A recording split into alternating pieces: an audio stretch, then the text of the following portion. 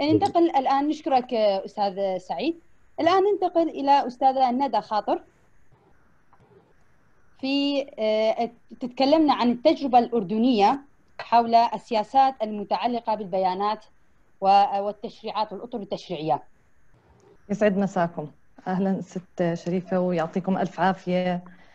في البداية بحب أشكر عمران على هذه الاستضافة. وشرف لي إني أقدم التجربة الأردنية ولو جزء بسيط منها. ففي البداية حابه أعمل screen sharing وتأكدي إنه ظاهر عندكم. نعم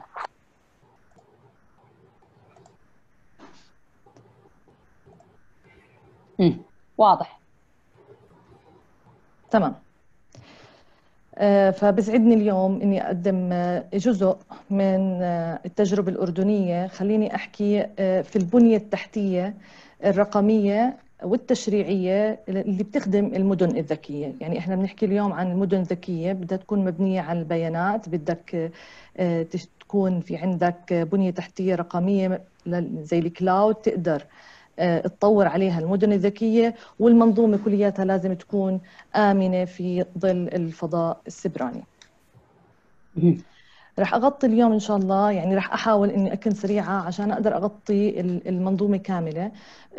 بلشنا بالأردن بسياسة البيانات الحكومية المفتوحة 2017 ببداية السنة هاي اشتغلنا على سياسة تصنيف وإدارة البيانات الحكومية.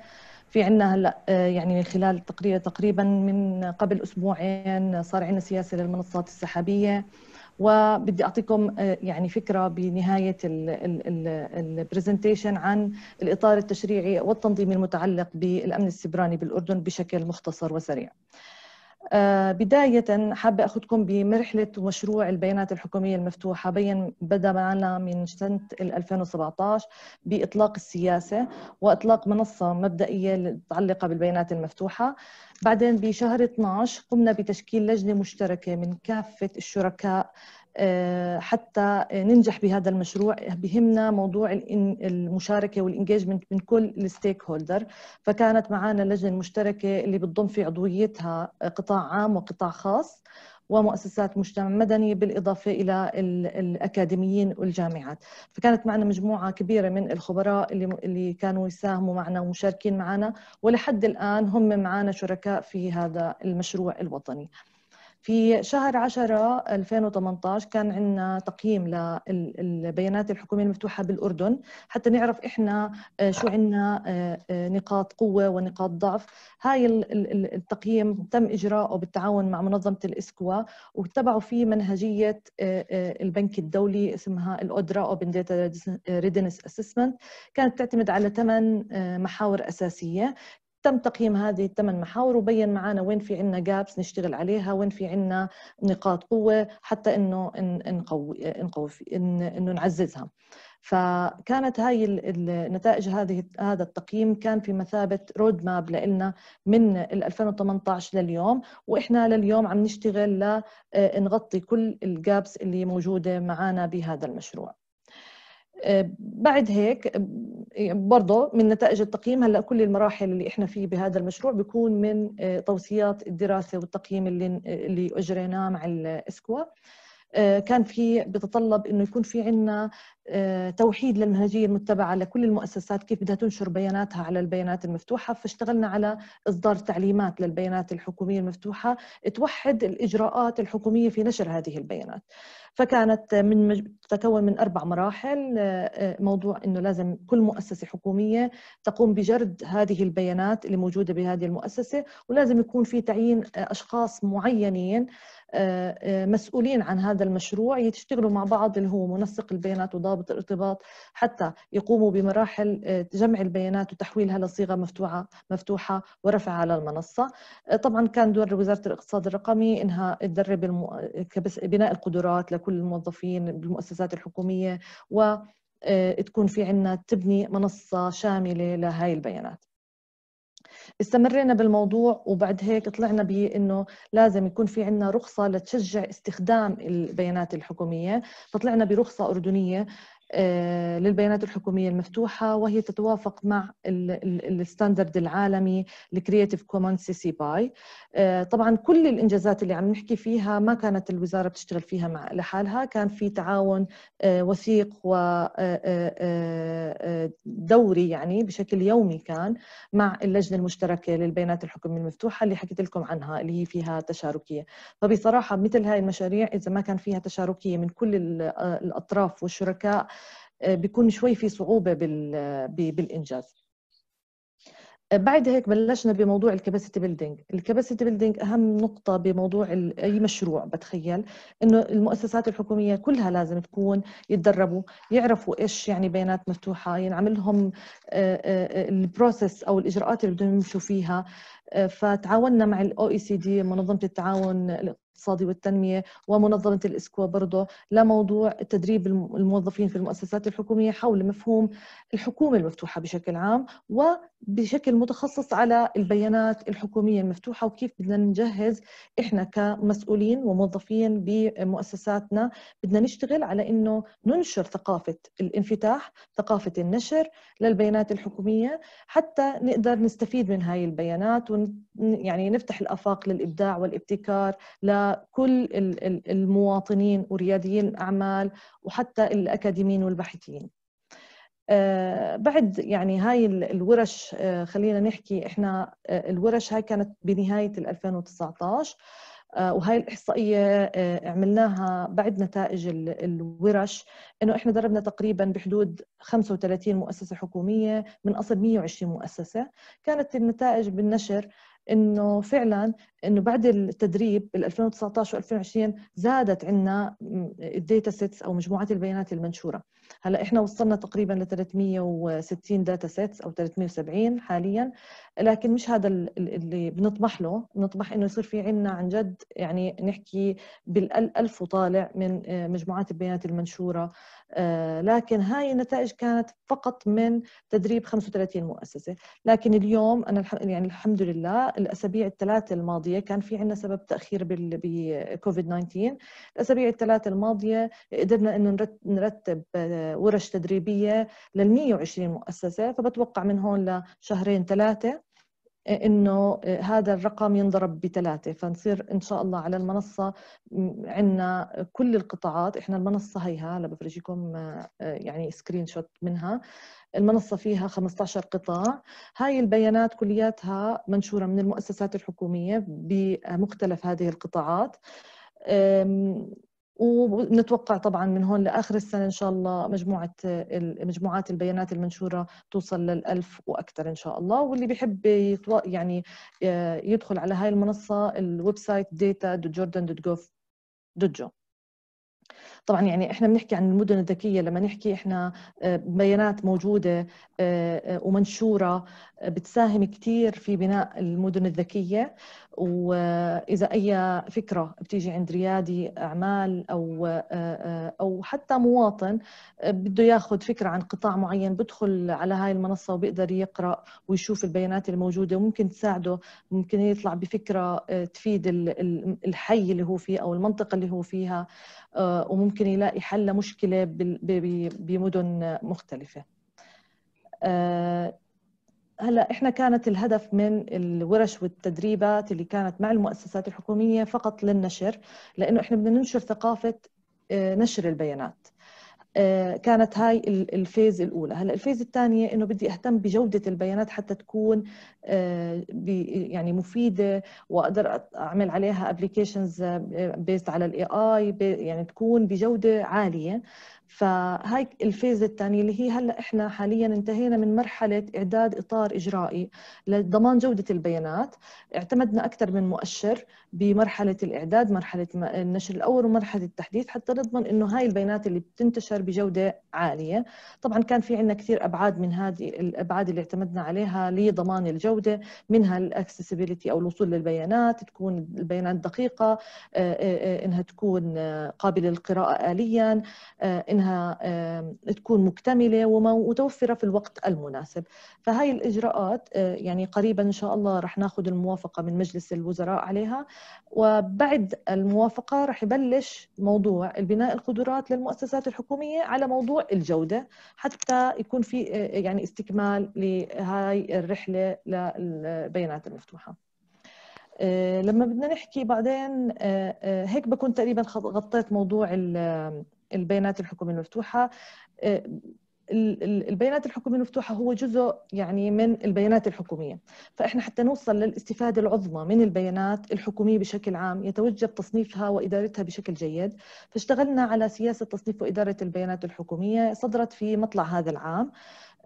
مينلي بتتقسم البيانات بالحكومية اتفقنا إنها تكون على فئتين فئة آه، متاحة آه، واعتبرنا إنه البيانات بالأصل يجب أن تكون متاحة. آه، وبيانات الفئة الثانية اللي هي الغير متاحة ويتم تصنيفها بسري وحساس وخاص حسب مدى الأثر والضرر آه، من الوصول إليها. فكانت آه، تقريبا هاي هي ال ال ال النظام التصنيفي المعتمد بالأردن حاليا واللي بدنا نشتغل عليه مع المؤسسات. وكان في بالسياسة يعني حطينا حتى نسهل على المؤسسات نموذج حوكمة يجب الالتزام فيه من كل المؤسسات ويكون واضح إنه إحنا في عندنا مرجعيتنا مجلس الوزراء وزارة الاقتصاد الرقمي راح تكون مساعدة وداعمة لكل المؤسسات الحكومية بموضوع التصنيف. لكن كل جهة حكومية لازم يكون في عندي مأسسة لهذا لهي السياسة داخل المؤسسة نفسها حتى ما يكون التصنيف مبني على رأي أشخاص لكن لازم يكون مبني على رأي آه، مجموعة من من ضمن هاي المؤسسة واللي هي بدها تبلش من ال data stewards أو المشرف البيانات ال program lead وبده يكون في عندي لجنة تاخذ القرار و تصنف بشكل نهائي. فإحنا في هاي في هاي المأسسة بنضمن إنه ما يكون التصنيف بناء على قرار فردي. طبعا الخطوات التنفيذ برضه كانت واضحة إنه لازم في عنا النموذج الحوكمة نتبناه يكون في عنا نموذج آه، آه، لاستمارة الجرد آه، حتى نجرد البيانات وبعدها بنبلش بموضوع التصنيف. وزي ما إحنا شايفين فهو مرحلة الموضوع التصنيف هو مستمر وليس هو يعني فترة وينقضي لأنه أنا كل يوم بطلع عندي بيانات جديدة وكل يوم فأنا بدي أبلش أصنف من اليوم سنة ال 2020 أنجز ال 2020 وبصير كل البيانات اللي بدها تيجي جديد مصنفة تلقائيا وأرجع أصنف السنين الماضية سنة بسنتها بتعرف لأنه موضوع إذا بدنا نصنف من السنين الماضية كلها بيكون مشروع يعني كتير كبير فبدنا نمشي فيها بمراحل. فحاليا حطينا الأولوية إنها 2020 نبلش فيها ونرجع بال 2019 طبعا إحنا عشان نقدر نمشي بموضوع ال ال ال السياسة عملنا مستوى قياس لمستوى النضوج في المؤسسات الحكومية. فبين معنا مين المؤسسات اللي عندها مستوى نضوج عالي مين المؤسسات اللي ما كان عندها مستوى نضوج آه، متوسط آه، وقليل. فكانت عندنا هاي زي ما بنحكي زي لاندسكيب توضح لنا آه، مع مين بدنا نشتغل؟ آه، وكل المؤسسات نجمعهم حسب احتياجهم حتى نبني برضه معهم قدرات نبني لهم القدرات بخصوص هذا الموضوع كل حسب آه، احتياجه. عشان هيك قسمناهم لفئات معينة. طبعا إحنا اليوم بسنه 2020 آه، آه، اقرت السياسة لكن أنا بدي أضمن آه، أنفذها. فعملنا عندنا خطة ب timeline واضح. من هون لنهاية ال 21 بده يكون في عندي إنجاز لهذه السياسة. يتضمن إنه يكون في عندي منصة للتصنيف تساعد المؤسسات لأنه بتعرف إحنا في العصر الرقمي يعني ما لازم يكون في عندي شغل ورقي كله بده يكون على المنصة لازم يكون في عندي توعية وتدريب لازم يكون في متابعة لازم يكون في برضو عشان أحفزهم بدنا نعمل آه، زي برنامج تحفيزي للمؤسسات ونكافئ المؤسسات المتميزة بالتصنيف. آه ننتقل للموضوع الآخر اللي هو إحنا بنحكي عن البيانات والبيانات الضخمة بنحكي عن البيانات الحكومية، البيانات الحكومية هي عبارة عن بيانات ضخمة، أنا بدي أستفيد من هذه البيانات فلازم أنا يكون في عندي آه، استفادة من التكنولوجيا الجديدة وأهمها البنية التحتية الرقمية اللي أنا بدي أعتمدها اللي هي المنصات السحابية، فمن قبل تقريبا شهر أقرت الحكومة سياسة المنصات السحابية وخدماتها وهي عبارة عن آه، أربع محاور أساسية. إنه كيف أنا بدي أنظم استخدام الخدمات السحابية من قبل المؤسسات الحكومية وكيف بنفس بنفس الوقت تنظيم ال cloud service provider كيف بدي أعمل لهم تنظيم لضمان التنافسية وضمان حقوق المستهلك والمستفيد ضمن أطر تنظيمية معينة لازم يكون في عندنا ال SLA لازم يكون ال contract لازم أحمي الخصوصية لازم أحمي المعلومات. وبالإضافة إلى إنه أنا بالأردن شايفين إنه إحنا لازم نطور على سحابة أردنية وطنية. فإحنا عندنا هلأ المعمارية للسحابة الأردنية عندي حاليا government private cloud أو اللي هي السحابة الحكومية الخاصة بالحكومة. وفي عندي ال local ال cloud اللي بيزودها ال local provider عندنا بالأردن محليين وطبعا ال global public provider مثل امازون ومايكروسوفت وجوجل وغيرها.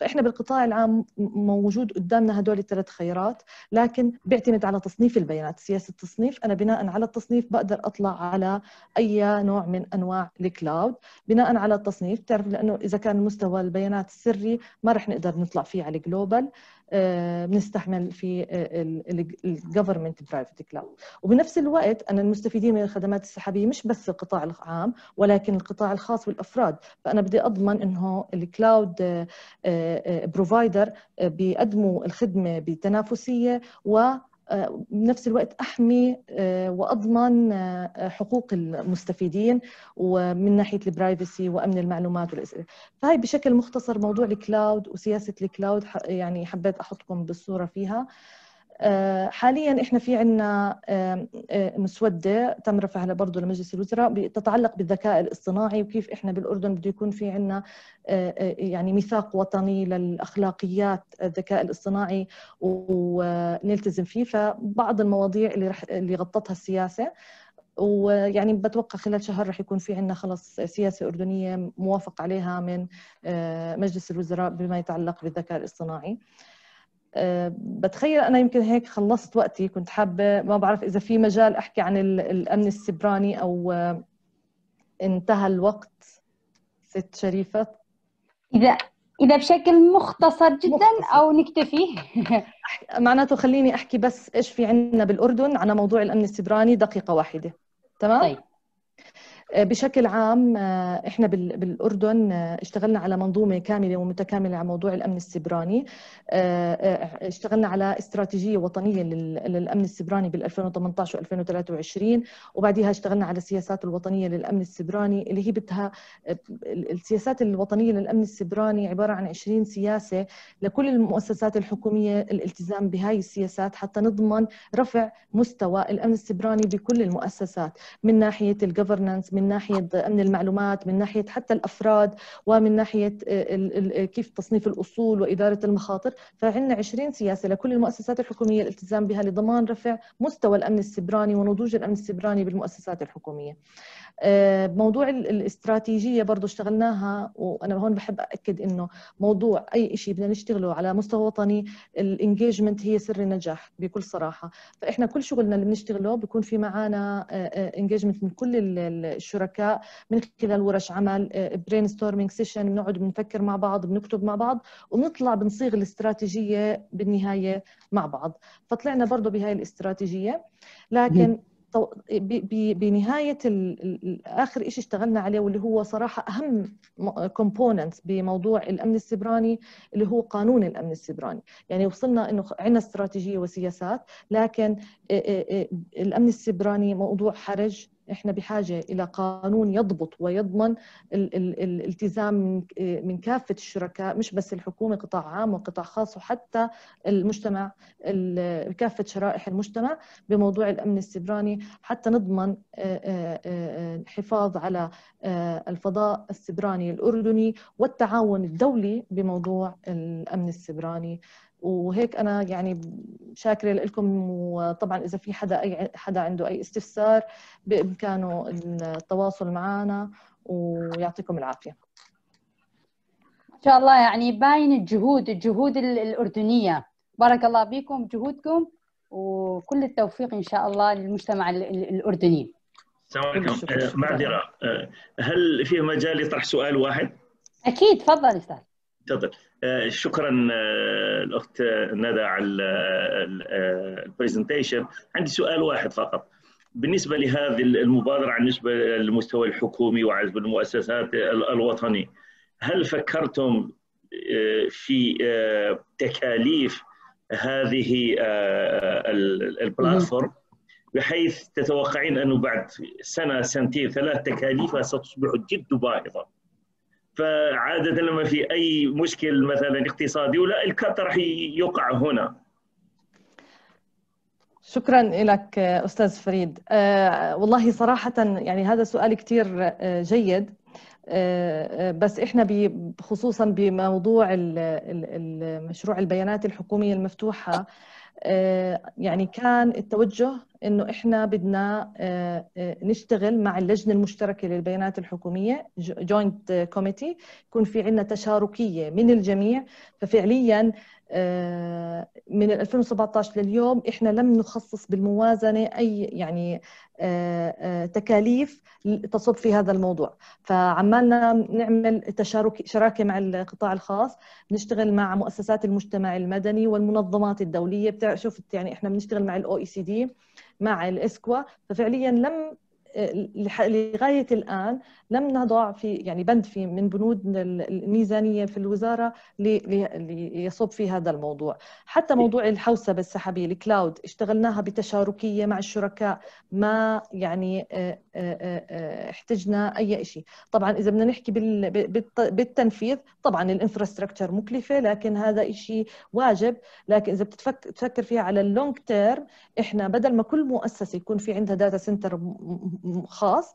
إحنا بنعمل consolidated لهذا الحكي كلياته بمكان واحد high performance ب secure environment بصير في عندنا cloud أو data center آمن نبني عليه ال cloud الحكومي إن سمحتي طيب صحيح تكاليفها راح ستنفجر لكن ما وش عندكم فيها؟ it's أغلى من الذهب. البيانات الآن جوجل ابل وهذا يتربحون من هذه البيانات. فهذا داخل في ما سميته في محاضرتي الاستدامة. إن أردت أن تكون لك مدن أو أي بلاتفورم مستدامة يجب أن يتربح منها. وإذا لم يؤخذ بعين الاعتبار بعين الاعتبار هذا الجانب فمآلها الاندثار. طبعا. وصدقا البيانات اللي عندكم وزنها أكثر بكثير أضعاف وأضعاف التكاليف التي يعني ستنجر. لذا في نظري وكتوصيه يجب على هيئتكم النظر في هذه المسألة. فقط يعني تنظيم هذه البيانات ترتيبها وبيعها فتجر عليكم. والله شكرا. كل الشكر. شكرا شك... لك شكرا. أستاذ فريد الله يسلمك. آه نشكرك أستاذة ندى على جهودكم على ما قدمتي الله يبارك فيك. والآن ننتقل إلى أستاذ فراس دياب إذا كان موجود كان لأن عنده